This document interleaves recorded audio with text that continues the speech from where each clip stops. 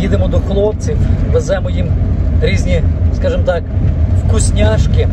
От, е, і вирішили по дорозі зробити коротенький сюжет власне про цю поїздку, про м, ті умови, в яких проживають наші хлопці. От. Тому не заберемо багато вашого часу. Е, Відразу скажемо, що відео не буде високоякісним, е, з, з хорошим зображенням, з хорошим звуком, оскільки все знімається на телефон і знімаємо те, що можна знімати. Будемо намагатися, щоб ви побачили якомога більше, але щоб якомога менше зрозуміли, де це воно це все є. Тому ось так, е, їду не самий, їду з друзями, ну по певних причинах показувати їх не можу, тільки можу ось так. Да, отак. Взяли і поїхали. Тому приємного перегляду.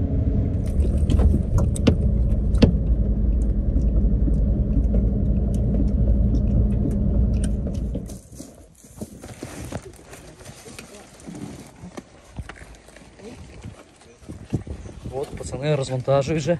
О, міна, міна, міна. Ах ти волчара! Ось бачите. Йде процес розвантаження. Це, звичайно, не все. Тут буде багато чого.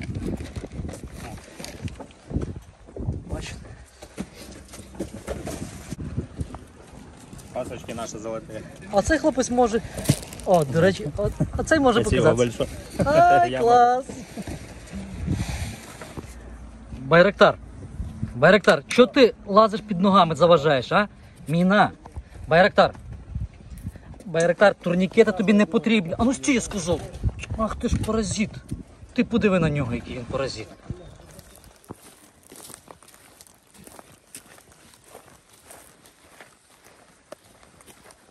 От зараз мені пацани покажуть дуже цікаву локацію. Хотілося б дуже-дуже максимально вам її показати, щоб у вас було е, максимальне відчуття.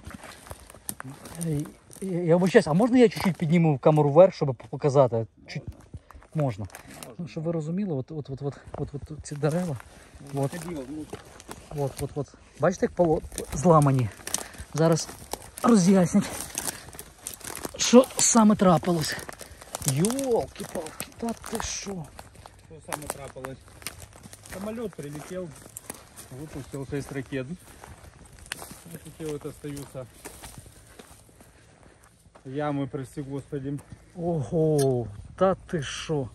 Це, я, це від одного е, От прильоту? одной- от одной ракеты. Ну вот осколок можешь поднять по весу, чтобы думали, что я не придумал. О! И посмотри, вот так вот, как лезвием срезает просто деревья в радиусе большом. Нашли один осколок отсюда километра, наверное, полтора. Осколок. Осколок. Ніхера себе. Ну, щоб ви розуміли. Русский мир. Ну, Да, от вам е, руський мір, блін. Боже, це ж, якщо ти в радіусі там півтора метра, е, кілометра, перепрошую, так тебе просто розсікає. Просто тебе не стає. В одному із своїх відео я вже демонстрував, в яких умовах хлопці живуть. От, е, я думаю, що для тих, хто не бачив, ще раз покажемо. Бліндаж. От. Тут може більш спробую детальніше показати. Пісочок, бачите.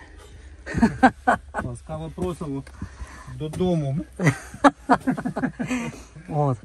От така історія. Ні, ну світло є, це вже, я вам скажу, є. дуже круто. Так, е, а можна я візьму ліхтарик, щоб людям більше показати. Так. Тарак, пам-пам. Форма. Ну, от бачите, вішають, щоб. Бо дуже-дуже е, вологість така сирість. Ну, зізнаюсь чесно вам. Ой, хочу показати максимум вам. Отут вони сплять, а я як сволоч ходжу. Ну, скотина я, от що я можу сказати. От, от, от. Ось такі умови. І нічого, і більше там вже так розумію 40 днів. І, і нормально, ніхто не, не скаржиться. Скорее 60 дней. Ну, это ж пятизвездочный отель ЗСУ.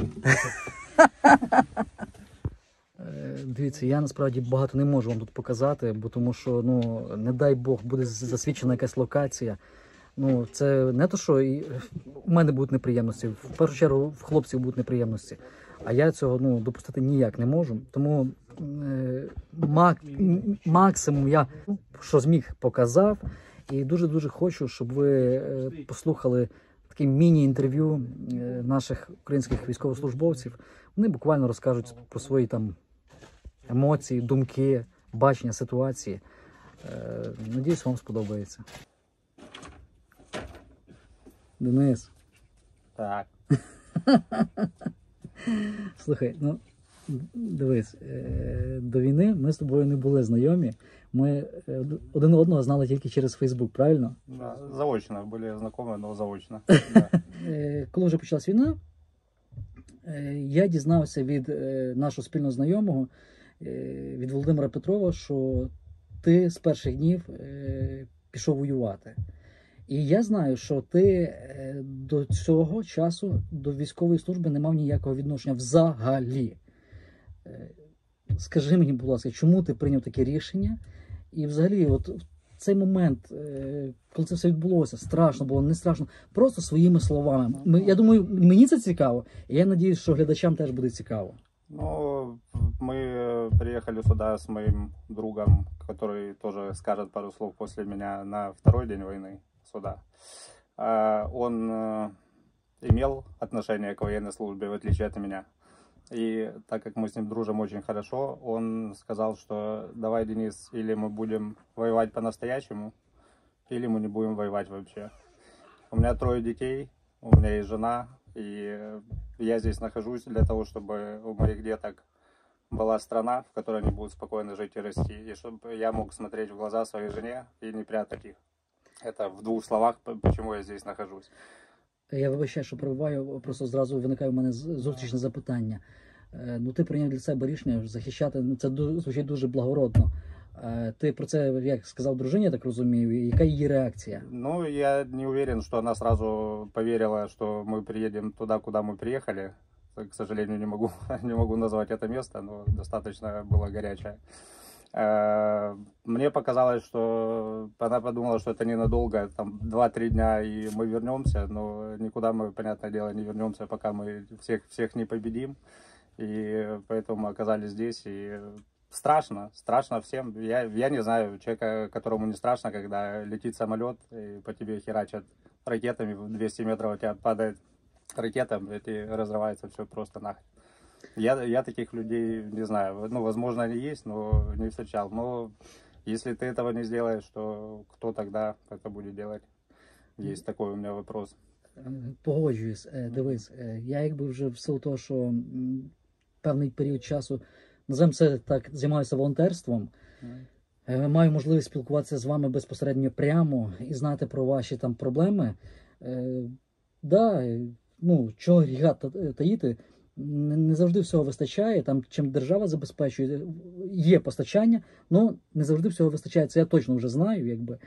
Е, Вам оця підтримка від людей, вона наскільки для вас в цей час важлива, не важлива? Бо тому що я що питаю, бо тому що е, це 100% я відчув вже, що е, чим більш чим далі небезпека відійшла від Києва, тим більше населення почало ну, розслаблятись І вже якось так, знаєш, е, не так активно е, готове допомагати. Може, може, я помиляюсь, але у мене таке відчуття є. А от коли вам йде від людей допомога, наскільки це вам потрібно, не Ну, потрібно? Да, давай, давай по порядку попробую ответить тебе на эти вопросы. Ну, без вашей помощи, я тебе скажу, положа руку на сердце, э, тут была бы жопа полнейшая по всем статьям. Вы помогаете, ты помогаешь, волонтеры помогают, э, люди э, обычно передают. Все, все, что передается, это все крайне важно. Крайне важно и крайне полезно.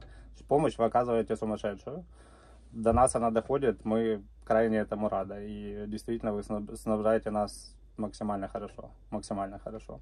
Что касается людей, которые отошло от Киева, недавно проездом был в Киеве, пару, пару часов.